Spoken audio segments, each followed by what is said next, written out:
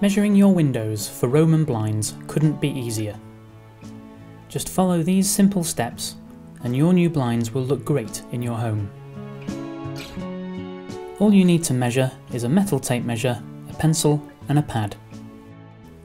Please give us the measurements in centimetres to the nearest 0.1 centimetre. Now you're ready to begin. First, you'll need to work out whether you want your Roman blinds to hang inside the window recess or cover it completely, fitting the blind outside the recess like this. Recess blinds do look a bit neater, but we suggest you'll need at least 2 centimeters of space for your Roman blinds to fit comfortably. If you want a recess blind, take three width measurements inside the recess, like this. Then do the same for the height, or drop, measurements.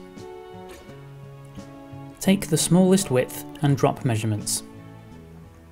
These will be the dimensions when placing your order on our website.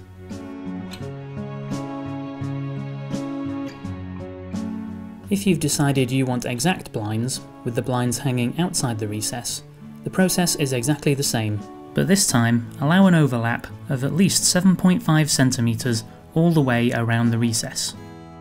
All you need to do now is enter the measurements on the site, and enjoy browsing through our extensive range of styles for the one that suits you.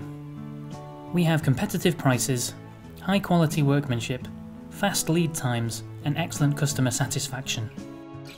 We've also made a short video to help you install your blinds, so come back when it's time to put them up and we'll show you how.